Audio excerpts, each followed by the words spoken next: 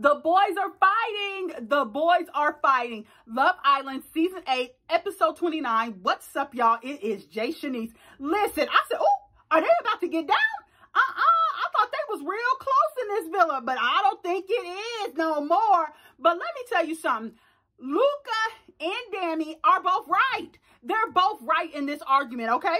Luca is always being the puppet master, acting like the president, okay? Always trying to tell the boys what moves to make, what to do, okay? So I can see that. But I can see Luca's side too, telling Dami, like, no, fool, you feel guilty that you kissed that girl Summer. Now you feel guilty about it and you want to take it out on somebody else.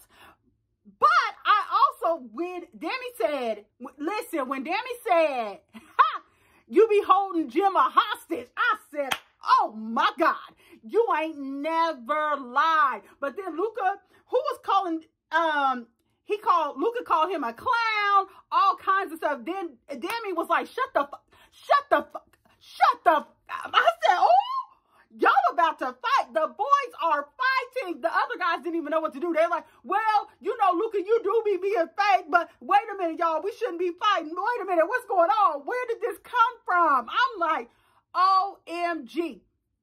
Dami gonna say, you just trying to win the whole thing. That's why you trying to be the puppet master, basically. That's why you trying to be fake. He was like, me and Gemma can leave this thing today. See, but the thing is, he ain't worried about winning Love Islands. He want to win her heart because that's a meal ticket because he is only a fisherman. I don't know how much fishermen make, but they don't make as much as soccer players, okay? That's all I'm saying. I see him seeing Gemma as a come up.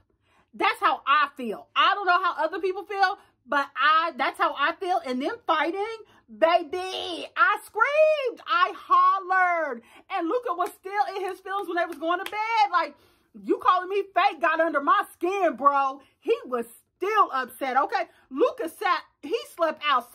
I said, Luca, where's that extra bed that's in the house? You can sleep in that. Why you gonna sleep outside with the bugs and stuff? Luca don't give a damn. I said, I hope they recover from this.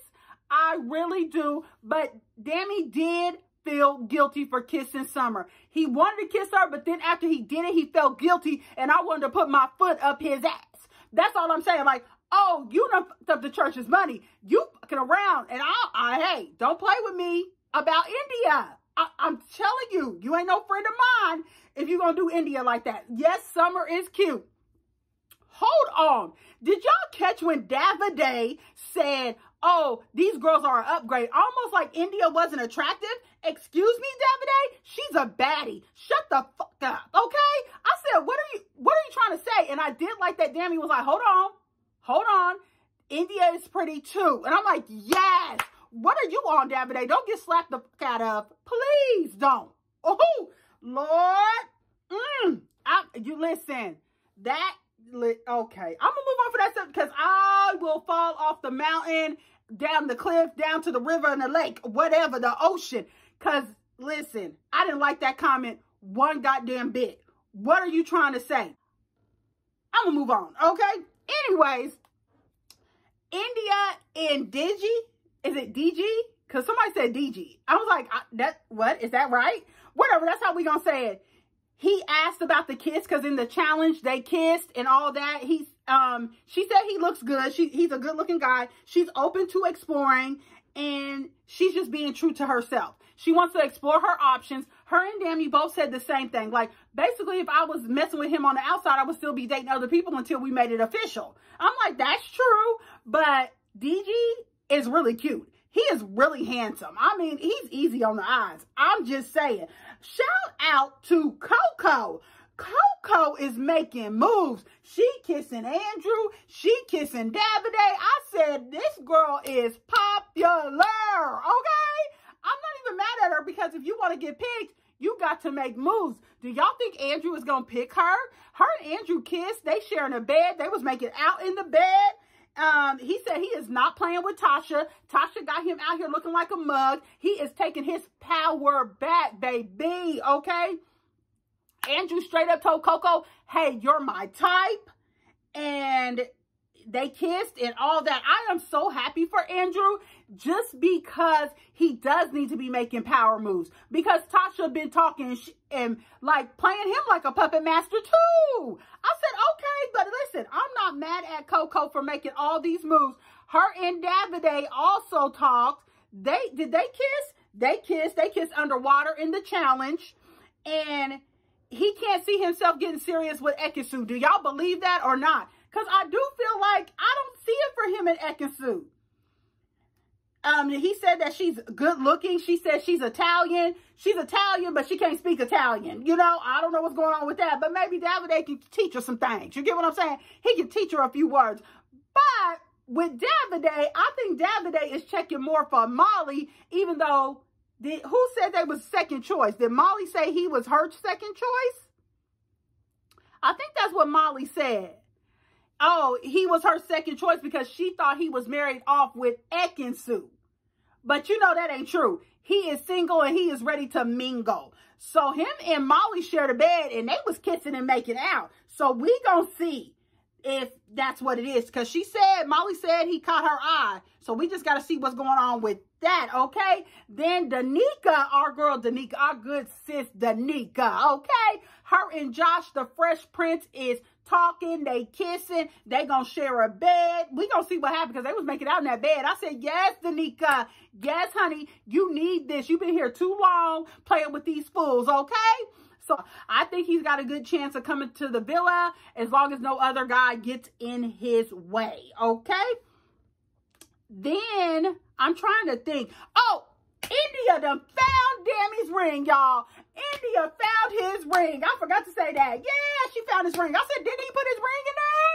She found it. I was like, thank God, girl, you wasn't looking hard enough. That's like me looking for my keys when I lose them. Be like, nope, I guess I ain't going to work today. Y'all pray for me because I can't find my car keys. And they be right in front of my face. Good sis found it. She found it. I'm still holding out hope for them. I really am, y'all. I know y'all probably think I'm crazy, but I'm holding out for Indiya and them. Let's talk about Jay in Chyna. Look, Jay, Jay in Chyna. I'm liking this. I'm really like, he talked to her. He had a few chats with her within the day. I know that's right.